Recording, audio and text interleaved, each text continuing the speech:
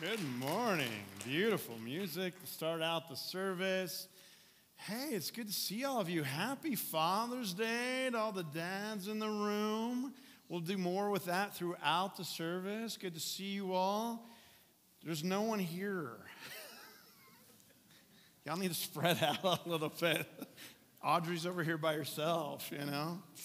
Hey, welcome to Grace this morning. If you're sitting on the ends of the aisles, I want you to grab those friendship pads, open them up, see the various things that are in there. Grab an I Give Online card if you give online, grab a prayer card, fill it out, give us prayer requests.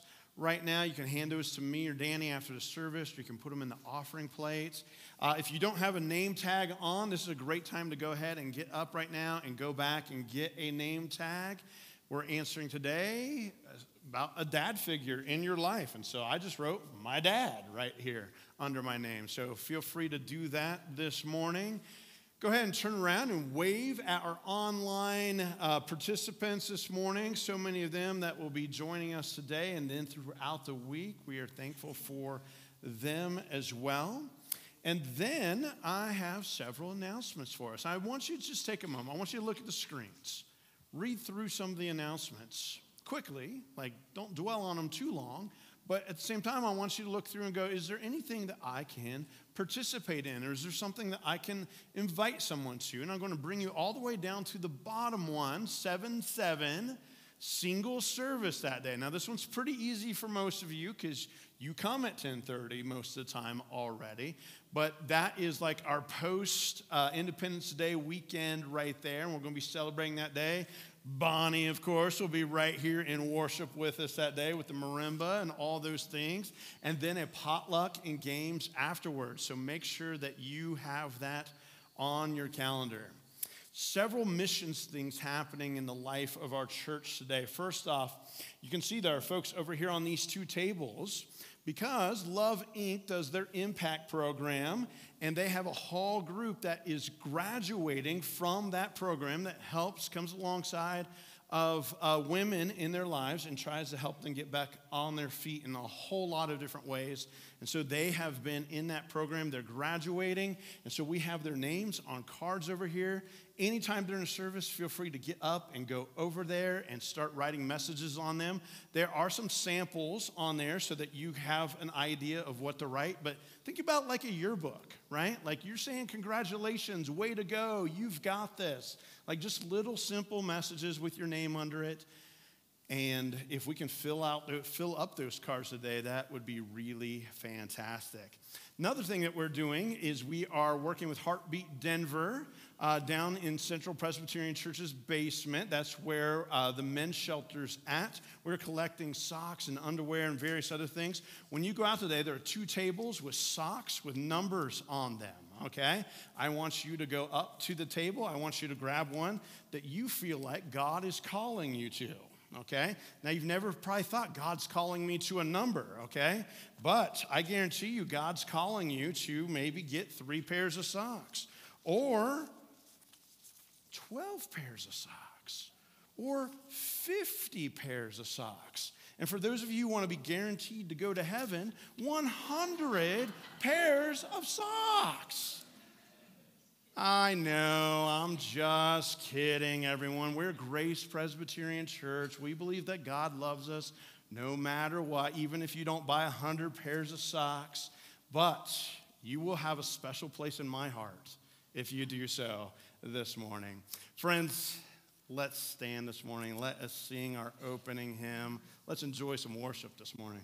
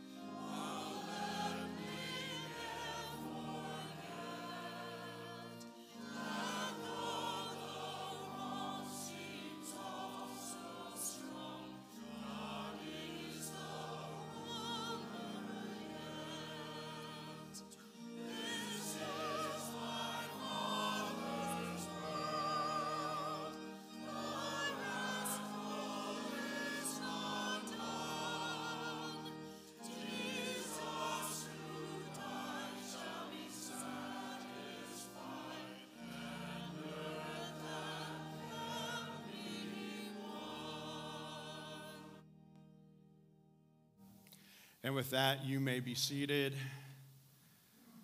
Please give your attention to the screens for our confession and assurance this morning. Gracious Creator, we confess that we have often failed to honor the diversity you have woven into creation. You've been fearful, we, not you, we have been fearful of differences and sought to tame and homogenize your wondrous world.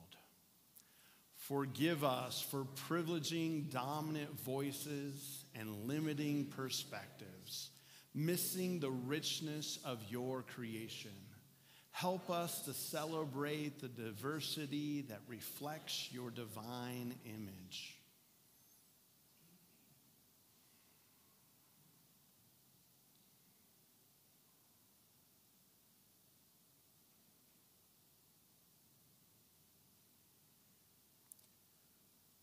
God calls us to serve with renewed hearts and cleansed spirits. In God's grace, we are forgiven and sent to be the light in the world. In Christ, we are forgiven and called to serve. Thanks be to God. Amen. And before our grace blessing, I just want to invite you to close your eyes this morning. I want you to think about the many father figures in your life who have contributed good to you who have helped you become the person that you are, who sees you and goes, I love you no matter what, and who also looks into your life and goes, I see all that you can be. And with those eyes closed, I just want you to wrap that up in a warm smile this morning, opening your eyes now. And friends, I want you to know that just as you can think of those father figures in your life who have contributed all that good, there is a God above who sees that in you as well, who sees you and goes, I love you for exactly who you are. And also looks at you and goes, and I see all of the potential in you, no matter what your age is. And particularly for those of you who are older, you know how true this next statement is. It's not like you turned 80 and you like popped out of the oven and went, I'm done, right? God's not done with any of us. God goes, I have you on this earth for a reason. Let's contribute. Let's do some really good things in the world with who you are and the gifts that God has poured inside of you. And that is my hope for you that you will allow that to come bursting forth today as you walk out into the world. With that, let us stand this morning. Let us do our grace blessing with one another, saying, Grace in me, and grace in you, and grace in all of us. Friends, pass the peace of Jesus Christ and maybe a story about a dad figure in your life.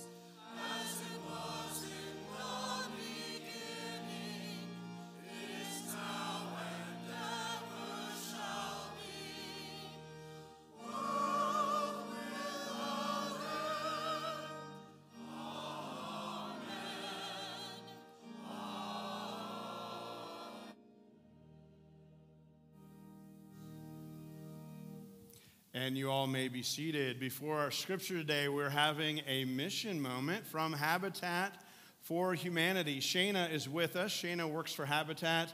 We're going to have Shayna come on up here. Um, I want you to consider just how much one house, one home can change not just a person's life, but multiple generations of people's lives as Shayna comes, tells us who she is, what she's about, and introduces our guest today. Thank you, Shayna. Thank you so much. My name is Shayna Weibel. I'm the Faith Partnerships Manager at Habitat for Humanity Metro Denver. As you think about how much one home means, also just think about the cost of one home. I'm just going to drop that as a little nugget. It's about $500,000 to build one unit right now. And with that, that is all you're going to hear from me during service today, you are going to get to hear a story from Tirza, who is an incredible woman and mom, and I love getting to spend time with her, and you are going to love to hear her story. And then after service, I will be in the hall right there. I would love to answer any questions you have. My business card is out there. There's a bunch of flyers. There's plans for the site you're sponsoring. So listen to Tirza now. Come see me later. And please give her a hand as she makes her way up here.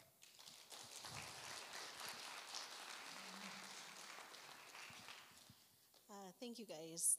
I am not a um, trained speaker, so please bear with me. Happy Father's Day to everyone. Um, my story, um, I guess, starts a little bit back in, um, I'll go back to 2008. Um, I had just had my second child, and I don't know if y'all remember 2008, but it was sort of hard for some people, losing jobs and um, kind of with the market and at the time, I was living in my own home and I, um, I had two rental properties. but that year, as my kid was born, I had decided to become a stay at home mom so I could, you know, be with them and um, and it didn't work out great. so we ended up losing um, the rental properties and our home, and um, my father allowed us to move into his home um, that he was renting out because he was working uh, in a different state at the time.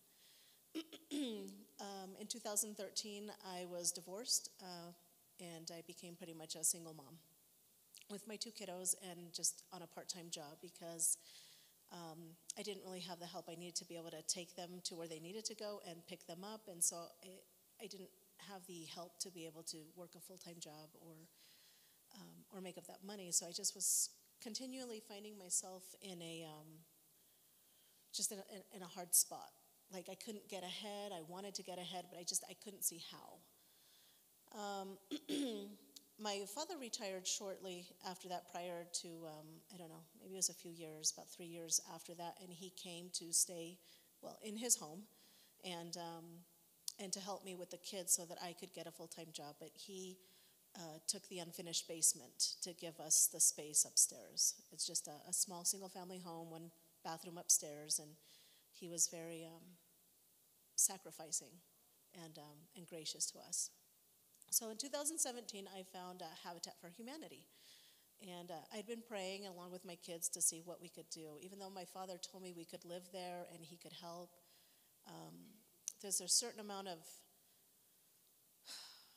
shame, I guess, that comes with the fact that you're, you're being a burden, you're an adult, and you should be able to take care of your children and help them also. And even though he's my father and he's trying to help me, it's just, it wasn't the best. He was retired, he's on a fixed income now, and um, I, I, felt like I needed to be able to do something to, to help myself and propel us forward. So in 2017, I found Habitat for Humanity and I, um, I applied for the program. Um, the program is not just to people that uh, have very low incomes. You have to have a certain amount of income so you're able to pay your mortgage. Um, so we struggled with that because I didn't think I would, I would qualify um, because it has to be a certain range. Um, so we prayed about it with my kids, and I was like, okay, God will open doors, um, or He won't, and maybe there's another path. But we were accepted into the program and then started a long year of um, two jobs doing the construction hours. So I worked a day job at the city of Denver from 7 a.m. to 2:30 p.m. Um, I got a second job because I needed to be out of debt by the time we moved in. Otherwise, I wouldn't be able to afford myself and my kids. um, and that was from 5:30 to 10 or 3 o'clock in the morning sometimes. Um, and then on Fridays, I worked at the construction site to do my hours, and on Sundays, I worked at the restore to get my hours done there. Um, a lot of the other families had, you know, husband and wife to get all those hours accomplished, but I, I, I could only do those. So it was just a long year. My father took on all the extra kid sitting. He watched my kids before I left in the morning, after he picked them up from school. I would sometimes have about 20 minutes each before a nap, and um, I would set a timer. And I remember it was it was a really long year. Um, and then 2018 came, and we were able to move in. Meanwhile, my kids would come and visit the construction site, and the people were so nice at Habitat. They they would take time to show them as the frame was going up. They said, "Your room's going to be up here," and you know, your room's going to be here, and your mom's doing great. And just encouraging because it was it was difficult um, to not be able to see them. Um, I still have the dedication paperwork um, that they did. It lists all the different, not all of them, but like the big sponsors, you know. There were many, many sponsors and people that would take volunteer days and come, and different companies and different, you know, churches would bring lunches to people. It was, it's just incredible to see how many hands it took to, to make one building go up. Um, so we moved in, and then a year later, I was able to stop my second job. Um, and I was able to be home, and then I was able to start studying. So for the last four years, I've been studying part time, and this summer I'll finish my internship and I'll graduate with my degree of uh, construction project management. I thank you. yeah. I forgot to mention that uh, on the construction site, I learned so many things like how to use a hammer, and you could use it a hundred different ways, and I was like, this house isn't going to stand. None of my nails went in right. And they're like, no, it's going to be okay. There's a lot of people that know what they're doing, you know. Um, and so it was, it was a journey. It was an incredible journey. Um, and, uh, and because of that and the generosity of so many people with their, with their time and their money, um, we, uh, we have stability. My kids don't have to worry that we have to move. They don't, I'm not worried that I can't make the payment. Um, I've been able to now maybe save up some for their college so they can go to college. Um, they're 17 and 19 now. We've been there for six years. I was just able to put air conditioning in. you know, it's it's just little. It's baby steps. You know, it's very little. Like you do little at a time, but it it compounds, and it's changed my life, and it's changed my kids' life. Um, so I just wanted to say this last statement. Um, but the stability and opportunity for growth um, is immeasurable, really. It's changed my life, it's changed my kids' life. I know it's going to change their kids' life um, because I have the opportunity to do so much more than just work two jobs and come home and be tired and not see that there's other things that are possible. I just finished leading the VBS at my at my church. I um, I'm able to donate more time to other people now, and I'm able to give back in a different way. Whereas before, when you're just sort of stuck in the cycle of trying to just get by, it's very difficult to see that there's anything else um, that you can do. So thank you guys.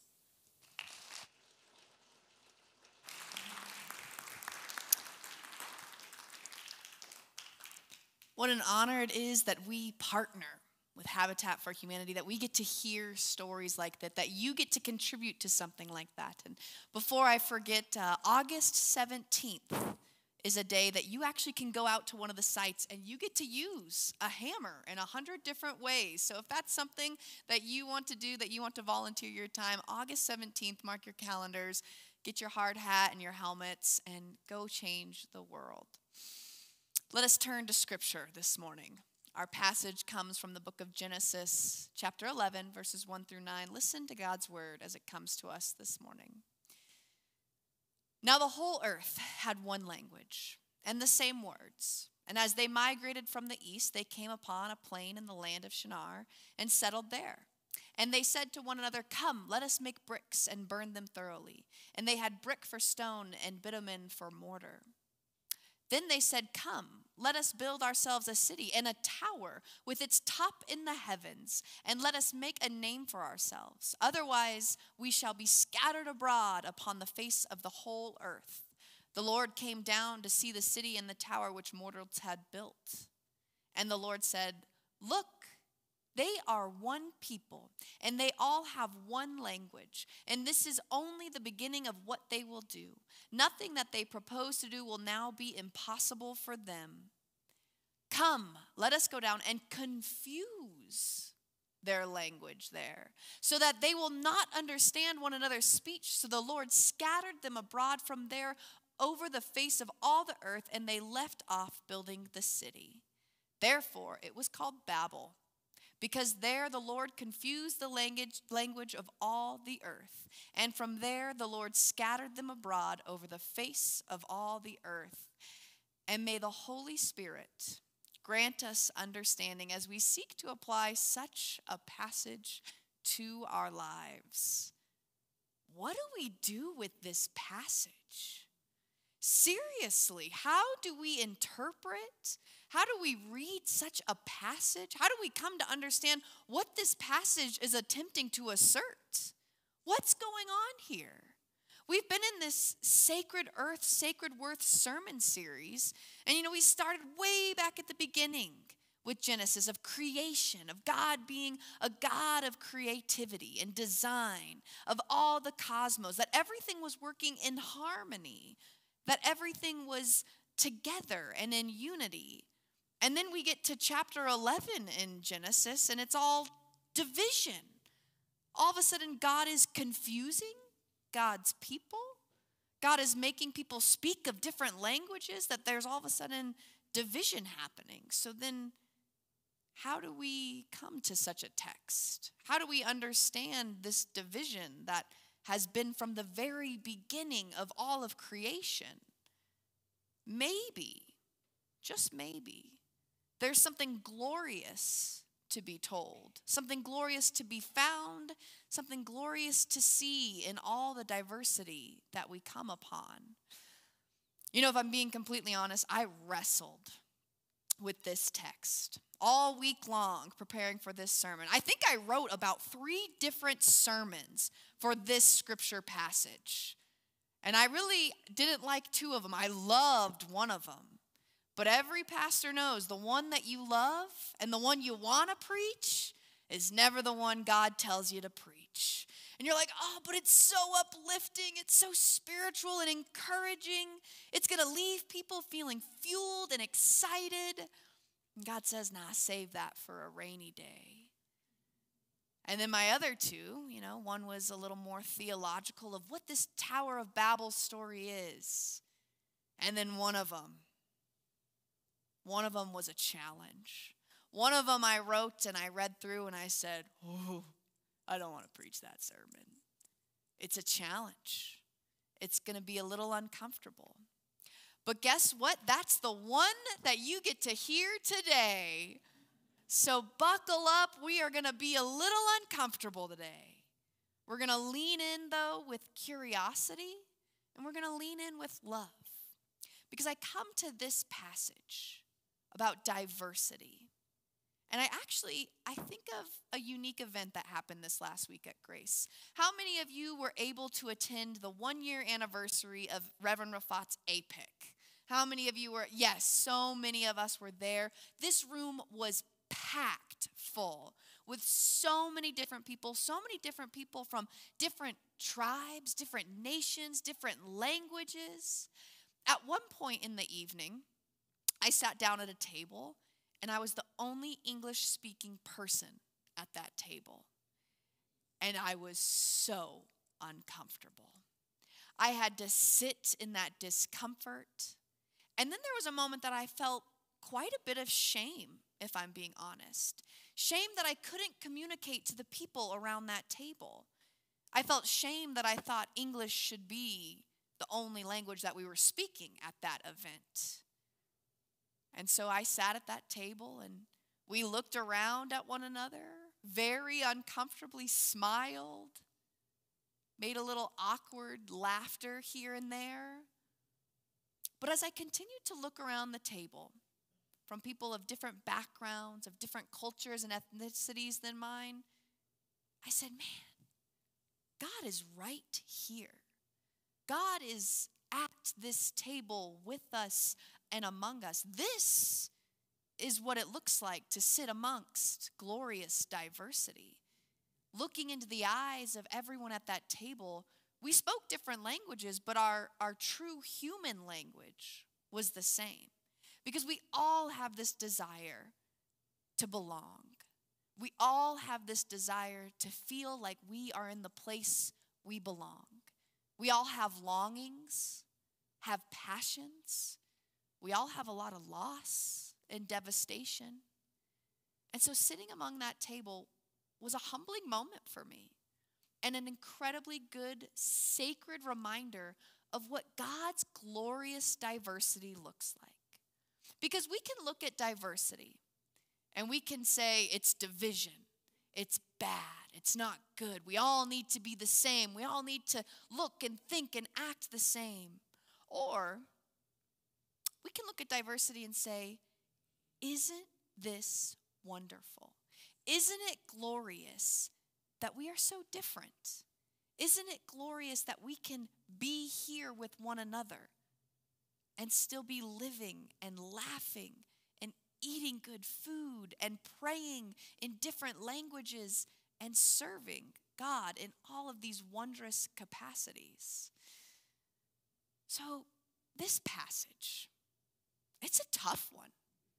How many of you read that and you were like, oh, that, that, that sounds nice. That's an easy passage to interpret? Anybody? Because if so, I have another microphone and I would love to hear your input. this passage calls us to be uncomfortable.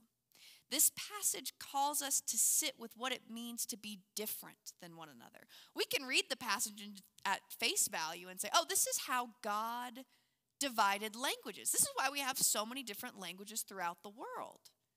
Or we could lean a step further and say, God is diversity. God didn't make division, but God is diversity. That every different language, every different skin color, every just different ethnicity, every different mind and soul is a representation representation of who God is. You know, one of my most humbling and amazing experiences was uh, when I attended McCormick Theological Seminary. It's based out of Chicago, but uh, because of COVID, I attended online, as most of you know. And I can count on one hand how many white students were in each of my classes. And I can count on about one or two fingers how many white women were in these classes. And I remember that first year of studying, I was silent. I listened. I remember my husband would often be in the other room and he would listen to my class discussions. And I'd come out and he'd say, Why aren't you talking? You have so much to contribute to those conversations and you're not saying anything. And I was like, This dominant voice has been echoed for far too long in this country. There are other voices that need to be lifted around that table. I need to listen to the diversity around this screen. And in fact, I want to embody that diversity so that my ministry to which God has called me can come to wholeness and fruition, that I can lean into what it means to pastor all people from all tribes, all languages, and all nations. I want to hear, I want to listen, and I want to observe and I had the most amazing three years in such a diverse group of people. I made lifelong friendships that I'm so grateful for. People that I can text or call or FaceTime or Zoom at any time throughout the week that'll be there for me. And none of us look the same. And in fact, sometimes we have to use Google Translation to adequately understand one another. And I loved that. I love having that community with me one of my favorite stories too from uh, seminary was uh, obviously I attended online virtually, and uh, it was time for graduation, and I was flying into Chicago, and uh, I was supposed to be going and picking up my robe and my stoles for the ceremony the next morning, and I I wasn't going to make it on time. And so I called my sweet friend Donna. I said, Donna, you have to go pick up my robe and stoles. I'm not going to be there on time. And she says, I got you. I got you. Don't you worry. And so she goes and she's picking up all my stuff from the administrative team. And uh, they hand the robe and the stole over to her. And they handed her the stole, which apparently only African American students received. And Donna starts laughing. And she says, Do you know Danny? And they were all like, Oh, yeah, yeah. Like, we know her. We've emailed her and called her. We, have known her for like three years now. She's attended here. And Donna says, Well, Danny's white, so she doesn't get a stole. And they were like, Oh. And they took the stole back. And then Donna said, Well, wait a minute. For three years, you have taught us to be inclusive. For three years, you have told us that we are all equal, that we are all to represent God and God's image. And now at graduation, she's going to be the only woman, the only white woman at graduation, and she's going to be the only woman without a stole. And if you knew Donna, she said, mm, mm, mm, she's going to wear a stole. And so, sure enough, I show up to Donna's house, and she said, I got you a stole. And at first I was like, okay, but then she told me the story. And I love that because it's breaking down divisions. Because we read this passage, we read that division is an overarching theme in many of the books of the Bible. But then we look how far we've gone as a human race to divide ourselves even more so. This upcoming week, we're celebrating a national holiday. It's fairly new to our country, but it's called Juneteenth. If you haven't heard about it, if you don't know about it, if you're one of those that are kind of like, I don't know, look it up. Know your country's history. Know that it's a celebration of liberation, of enslaved bodies, enslaved black bodies. We enslaved people based on their color. Human beings had the audacity to claim privilege, to claim rightness, to build a tower and call ourselves God, and that we could own another human being. Juneteenth, this upcoming Wednesday, I hope you find a moment of reflection and pause. And not only reflection and pause, but celebration. Celebration that we are finally, finally making steps towards equality, true equality. That we finally are making steps of saying, no, no, no. Does not matter the color of our skin, does not matter what language you speak. You're my brother. You're my sister. You're a beloved image of God. So I touched on Juneteenth. That's a little tricky for some people, a little touchy. What else do we celebrate in June? Pride, another controversial topic that most of you are like, oh, we're at church. We're supposed to be uplifted. We're supposed to feel good. That should still make us feel good. We're celebrating people. Because even within the English language, we have divisions. We have different tribes that we speak to in the English language. We speak the same political affiliation, we speak the same religious affiliation. We speak different types of languages where our backgrounds come from, where our gender, our sexuality is. And we've divided ourselves and divided ourselves and divided ourselves. We like to surround ourselves in echo chambers where we only speak it with the ones that think the same as we do, that look the same as we do, that celebrate life the same as we do. But that's not what we're called to do.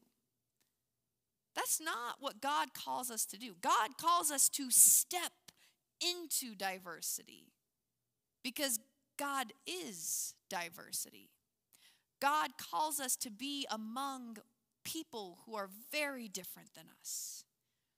I want you to take a moment and I want you to look around this room. You might think to yourself, it's not a very diverse room, but without pointing fingers or saying names or anything, I want you to see if you can find someone who votes differently than you. I said, don't say any names, no pointing. There is diversity, and that is beautiful. Diversity is a glorious and wonderful thing that should be celebrated. We don't use diversity against one another, but we use it to come together, to celebrate the richness of who God is. So we have this Tower of Babel story, the beginning of creation, predated Christ. But then we also have this really phenomenal story in the book of Acts, which is what we've been going through in this Pentecost sermon series. And it sounds like this when the day of Pentecost had come, they were all together in one place. And suddenly from heaven there came a sound like a rush of a violent wind, and it filled the entire house where they were sitting. Divided tongues as of fire appeared among them, and a tongue rested on each of them. All of them were filled with the Holy Spirit and began to speak in other languages as the Spirit gave them ability. All were amazed and perplexed, saying to one another, what does this mean? I believe Pentecost is the revert of the Tower of Babel. It's this division coming together in the Spirit, this unity, even amongst divided languages, even amongst diversity. Because you and I, we're not so different. We might think differently, look differently, vote differently, act differently, live differently, celebrate differently. Oh, but we're one in the Spirit. And this Spirit among us is indeed diversity. Amen.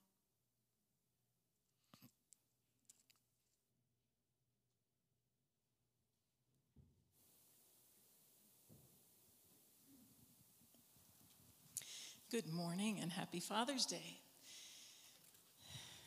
I was thrilled with Sunday night. If you were there, we got to hear a Vietnamese choir, we got to, to hear an Hispanic choir, um, and our own choir performed beautifully, and it was just a wonderful celebration. And we're looking for that ministry to continue in the future.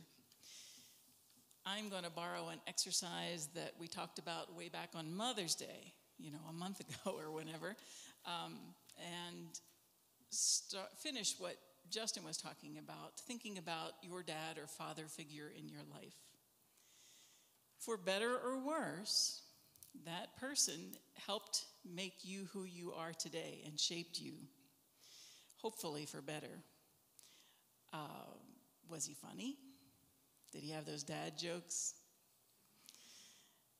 Vacations, think back to those vacations that you would take back when they would have one week if you were lucky. Um, what did he teach you? When you were a munchkin, did you go fishing? Um, I was taught actions speak louder than words.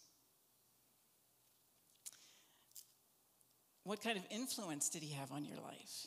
Um, my dad died when I was freshman in college.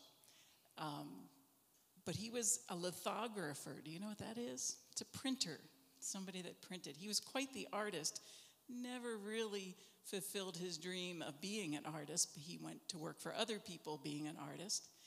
And that had an influence on me. And I love art, I love music. That half of my brain was very nourished. Um, but I also knew about his sacrifices at the time. Does your dad make sacrifices for you and the family?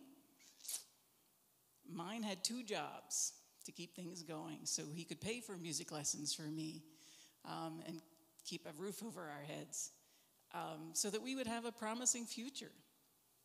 So I was 18 years old when I lost him, and I thought I knew everything. You know, at that age, you do know everything. But I did learn to cherish every minute to cherish those memories, think back to your dad or that person that you're thinking about. The composer of this next song, uh, Ruth Elaine Schram, gives us a song about, well, it's a tender tribute to those memories. And most of all, when you do think of them and those tender memories, it's very important to thank the God where they came from. Whether you've had that father figure for a month in your life or 80 years in your life, um, it's just wonderful to think of those things. But when you do, remember to thank the Lord.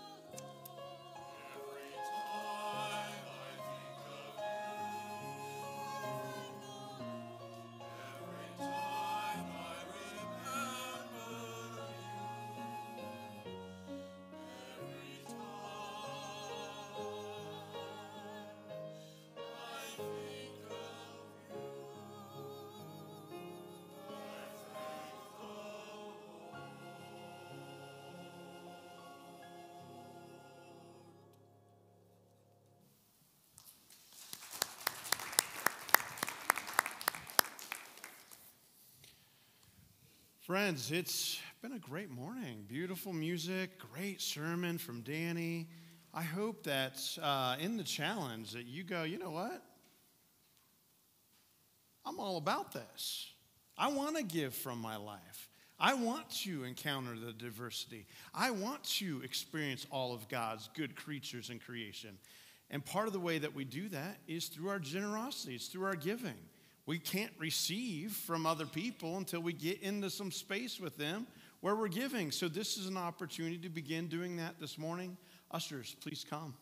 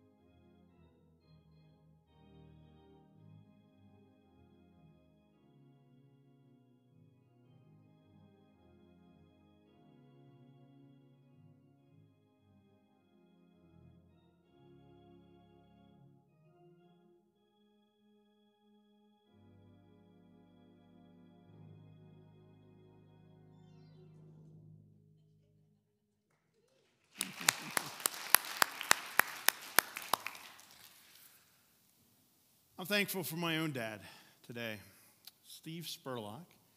He, uh, as, as I was listening to stories this morning, I was thinking about all the many sacrifices he made for me to be where I'm at today. And so much of me being here is due to him and his influence on my life. So I wanted to lift up his name today. I hope that you all can offer up to God names as we all stand this morning as we sing out the doxology.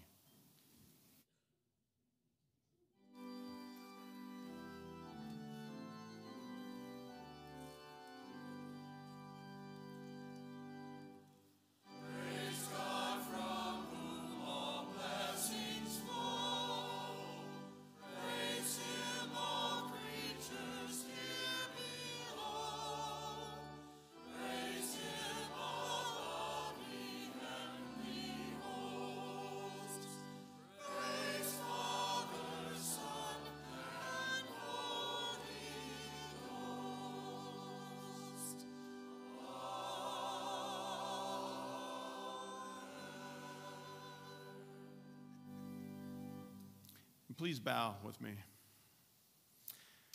God of all creation and all the glorious creatures, made in all their rich diversity, you are the one who makes us whole and yet also makes us all so different.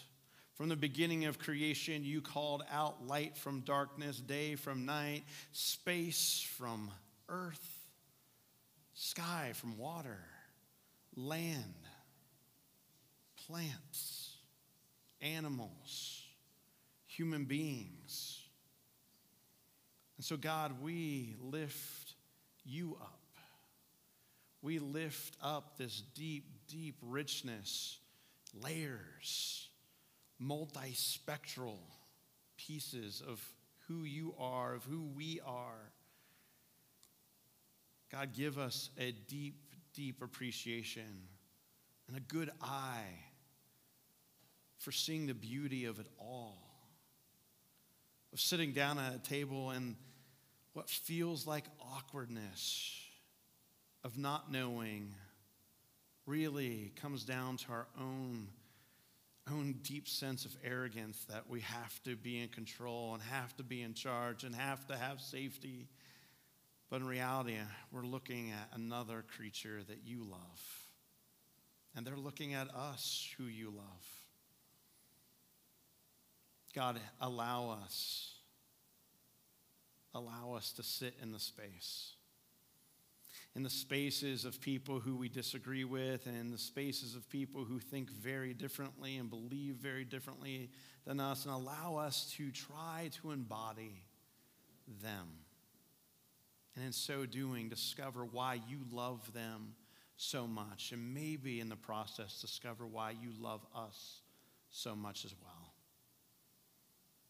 God, in our world divided by war and hatred and prejudice, be our strong Father, whose will and way and forgiveness and daily bread and overcoming of evil is something that we not only experience, but that we cherish. And we lift up that prayer you taught us so long ago with these words Our Father, who art in heaven, Hallowed be thy name, thy kingdom come, thy will be done on earth as it is in heaven. And give us this day our daily bread, and forgive us our debts as we forgive our debtors. And lead us not into temptation, but deliver us from evil. For thine is the kingdom, and the power, and the glory forever. Amen. Let's sing.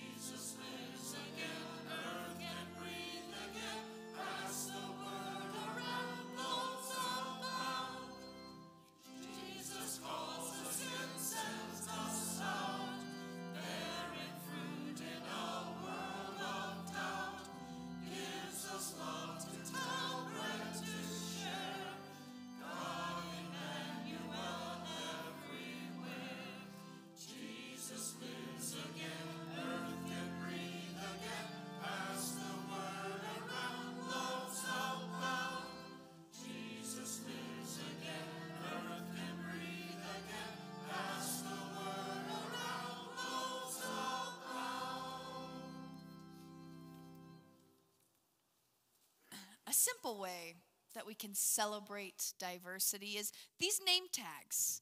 You all may think that they're a little bit silly, but the purpose of them is to get conversation going about the different things in your life or different opinions on different matters of the questions that we present you week to week. And I want you to remember to trade your name tag as you go out today and intentionally pray for the person you change, switch the name tag with all week long. I'll switch you right here, Elaine. And celebrate diversity. As you go out beyond those doors today, you're going to see people who look differently than you. You're going to try and speak to people who speak differently than you, that celebrate differently than you, that act differently than you. Lean into that space knowing God is with you and among you. And may God bless you and keep you, shape you and mold you, love you and hold you today and all of your days. Amen.